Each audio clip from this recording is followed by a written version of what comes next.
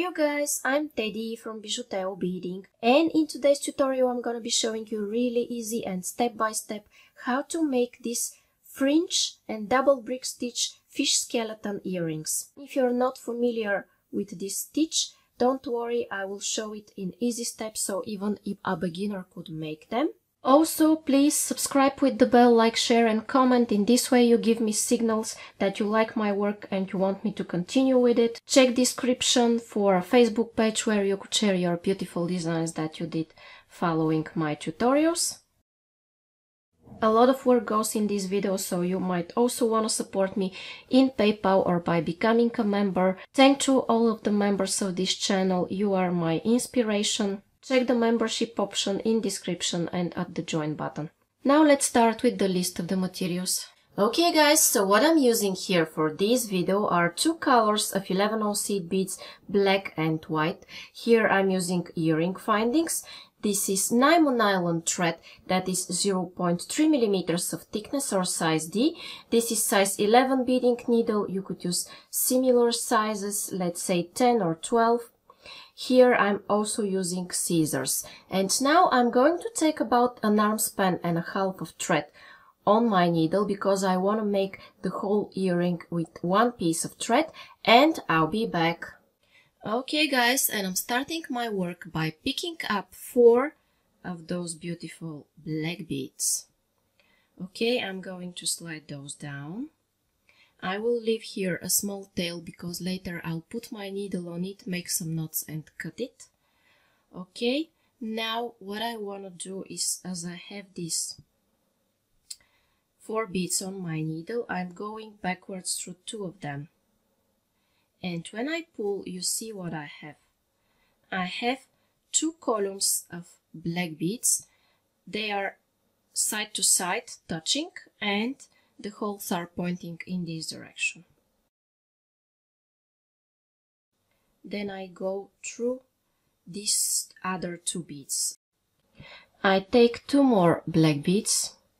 I go backwards through these two and then again through the newly added two beads. Add two more the same way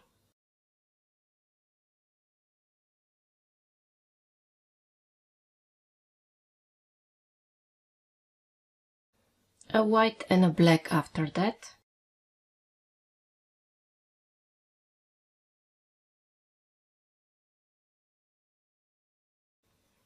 Then two white beads.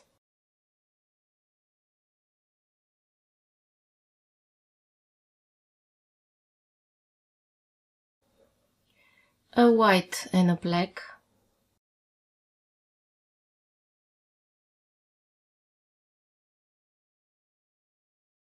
And now repeat this at four columns of black beads. Okay, I'm showing you the first column of these four. Add three more columns of two black beads and I'll be back. Okay, and here I have four black, a black and a white, two whites, a white and a black, and here again four black columns. Okay, now I'm going to continue with the brick stitch. Okay, I'm taking two blacks, a white and a black. And because in my next row I will have less beads than in this row, what I do is that I go under the second thread bridge or I decrease. If you're not familiar with this stitch, don't worry. I will show it step by step so you don't need to understand everything. Just follow the steps and it will be okay.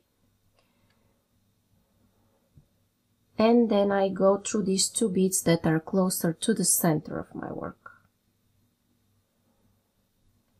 Okay, then I want to make a reinforcement of those beads. Go first through the first column of two blacks and then through the second columns of a black and a white.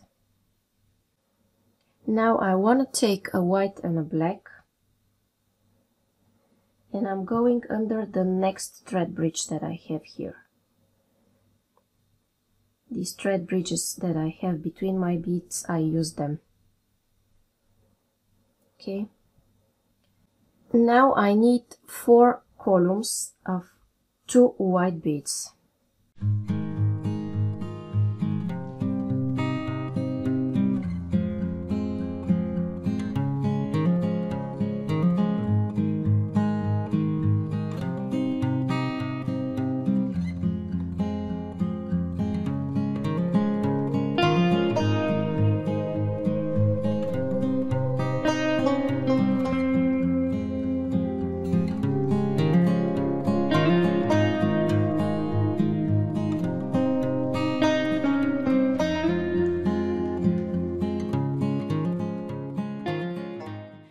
And now I'm going to repeat what I have here, but the other way around.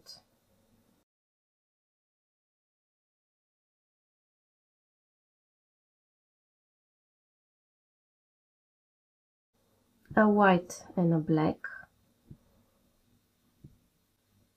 Repeat.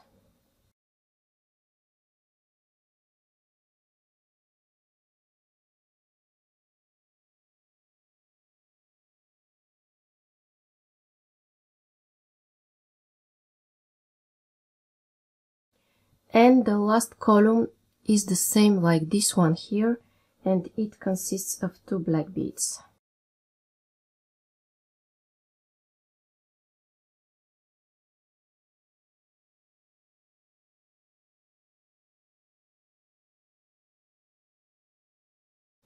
Okay, and I start my row with black and three white beads and again because I decrease I go under the second thread bridge that I have here.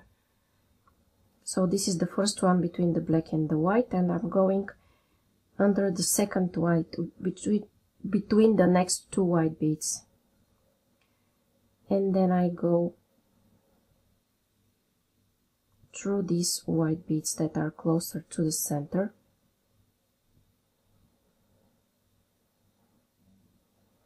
It is like the regular brick stitch but with two beads instead of one.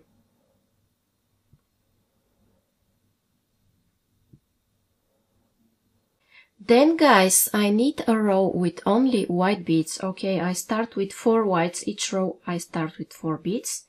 And as I'm exiting from this black here, I go under the second thread bridge because in this work I'm decreasing all the time. I'm going always under the second thread bridge then through the two beads that are closer to the center of my work.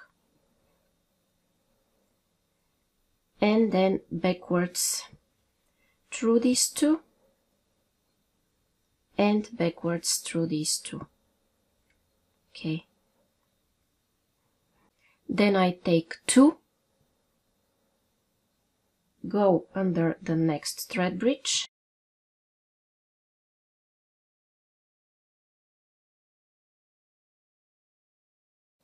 two again next thread bridge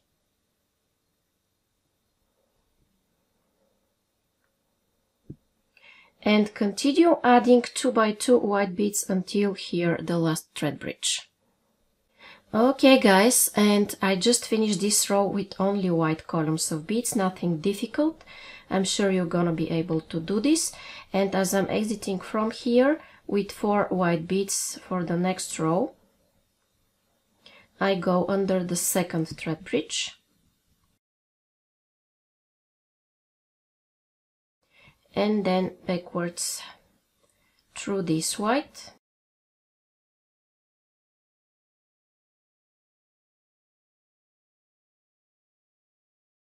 and reinforcement. I'm adding after that two more columns with white beads.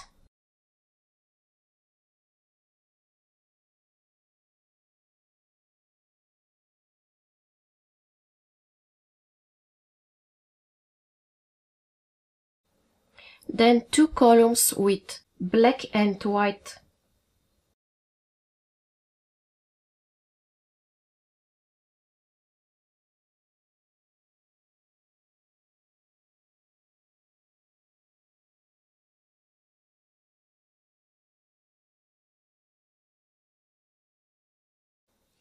and two columns with white beads with two white beads.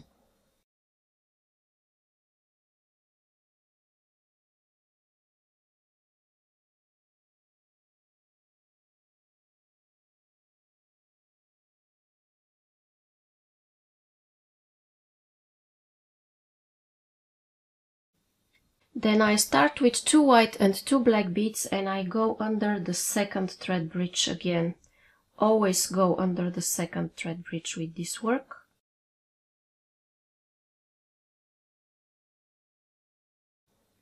And always reinforce.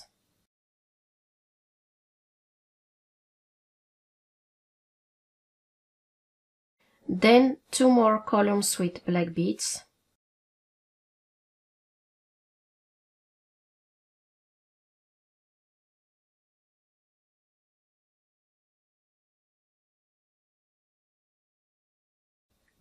and finish the row with three columns of white beads and I'll be back. And I finish this row with three columns of white beads if you haven't done this. Do this and continue and let's continue. I have here four white beads. Again second thread bridge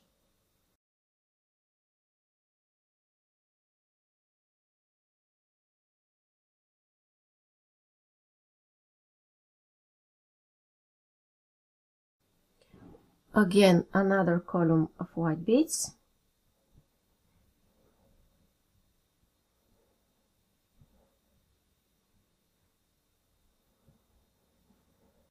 Then a white and a black.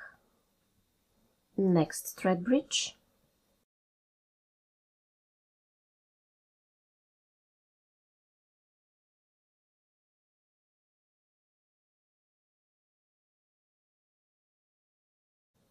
two whites.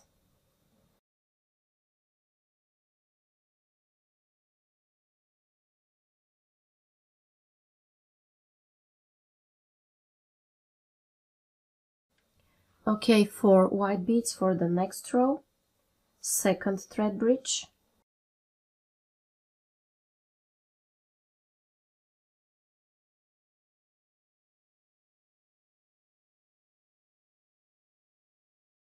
and finish this row with three more columns of white beads and I'll be back. Okay, now I need two whites and two blacks. Again, second thread bridge.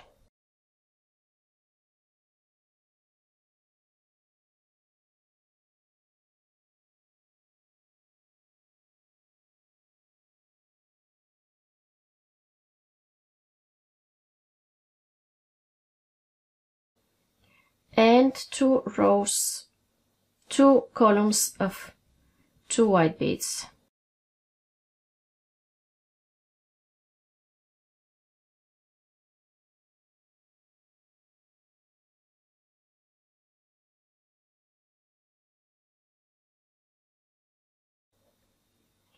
Okay, then a white and three black beads.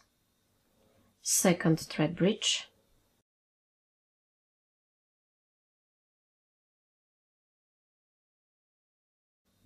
Here I have only three thread bridges, but still I'm following the rule and I'm going through the second one of them.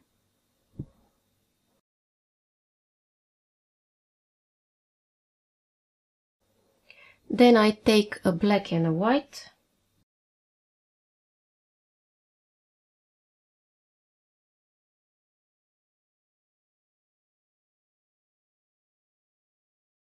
Then I take four black beads and again I go through the second thread bridge. I'm exiting here and going through the second one.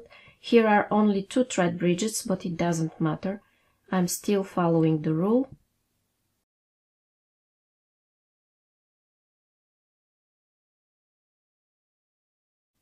And at this point, guys, I take my earring finding, which looks like a fisher's hook at this point and I'm attaching it here and I wanna reinforce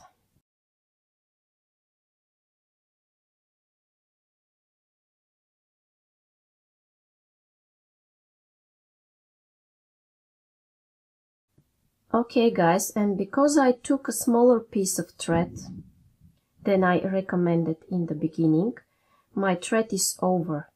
I did it on purpose just to show you if you didn't have enough thread how to add more thread okay?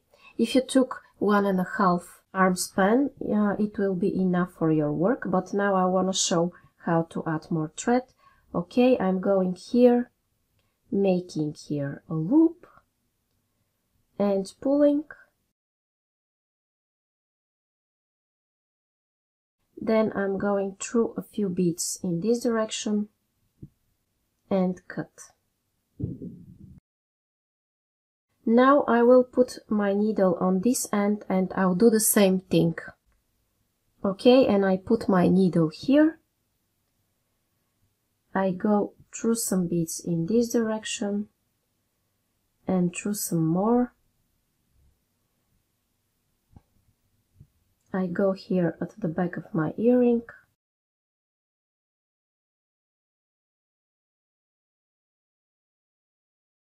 I make here a loop. And you could do go one or twice through this loop. Then go through some beads in this direction and cut this tail thread. Okay? Now I'm ready to make the fringes but I need to take a longer thread let's say another arm span of thread and I'll be back okay guys and I'm here where I just took another arm span of thread of nylon nylon thread and I pre-stretch it guys. When you use nylon thread it's a good idea to pre-stretch it and it is the best the nylon thread is the best for fringes okay? Now I want to make here a knot like before. I'm holding this tail thread with my thumb I'm making a loop here. I'm going twice through the loop that I have. I'm pulling. And I want to go through these three beads in order to be in a position to start the fringes that I want to make.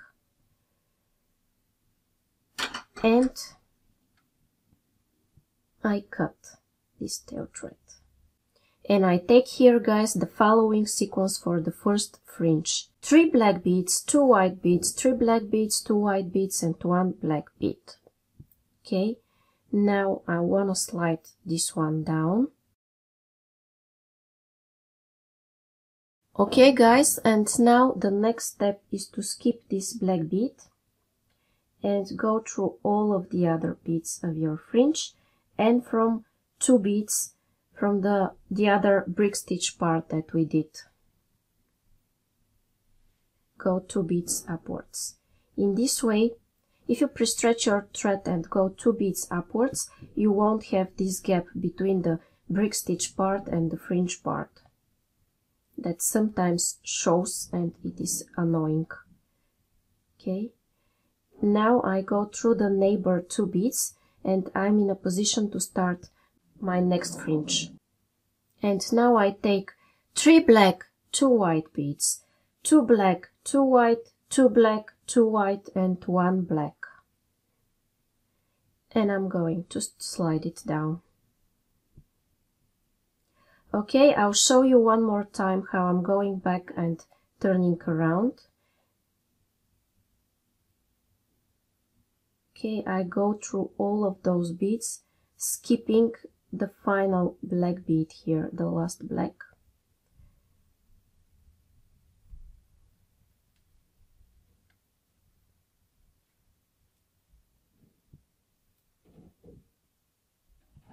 And then I pull. Okay. Then I do the same thing. I go through two beads in this direction. Two up and two down everywhere.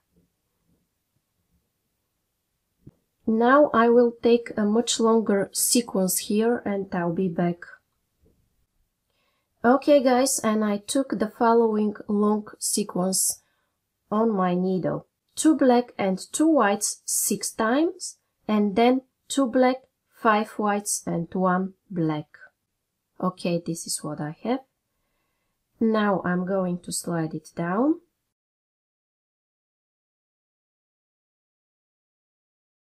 I will go backwards through all of those beads and I will exit here.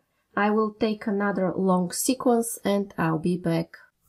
And as I told you guys, I went back through all of those beads and exited here. And then I took another long sequence and it is one black, two whites, then five times two blacks, two whites, and then two blacks, five whites and one black. You see it written here. you could watch from here and pick it up. And now uh, I do absolutely the same thing. I skip the black one. And I go backwards through all of those beads. Okay? I don't want you to watch me all the time doing this. I go back and I exit here from the white and I'll be back okay guys and what I have here at my fifth fringe is a black and a white five times two blacks two whites and then two blacks five whites and one black okay I'll skip this one, go back to all of those beads, exit here from these two central white beads and I'll be back for the central fringe. Okay guys, and what I have here at this central fringe are one white, then five times two blacks, two whites, five times, and then two blacks, five whites and one black. Okay, I'll go back like this and I'll exit here and I'll be back. Okay guys, and half of my fish skeleton is ready and the other half I'm not gonna be showing it because it is the same. So you start from here, you add this sequence here, this sequence here, this sequence here, this sequence here, and this sequence here. Okay, I'll do this off camera and I'll be back. Okay guys, and when I, when I continued making more and more fringes, here I am at the last fringe and my fish skeleton is almost ready. Now what I want to do is to go through some beads in this direction. After that I want to make a knot and cut my thread. Okay, I'm making here a loop I'm going twice through the loop I've made. I pull. Then I go through some beads in this direction.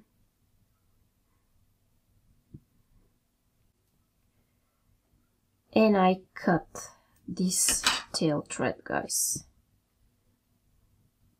Okay guys, and now my fish skeleton beaded earrings for Halloween are ready, so if you like them and you wanna see more and more videos like this, it's a good idea to subscribe and hit the bell button if you still haven't, and also like, share and comment, this is a great and amazing support, I can't thank you enough guys for these actions. You might check description for useful resources and a Facebook page where you could share your beautiful designs that you did following my tutorials. And you might also want to support me in PayPal or by becoming a member. And the last one comes with perks that you could check in description or at the join button. Thank you so much for watching. Now click on the playlist, the Halloween playlist that you see on your screens and continue watching.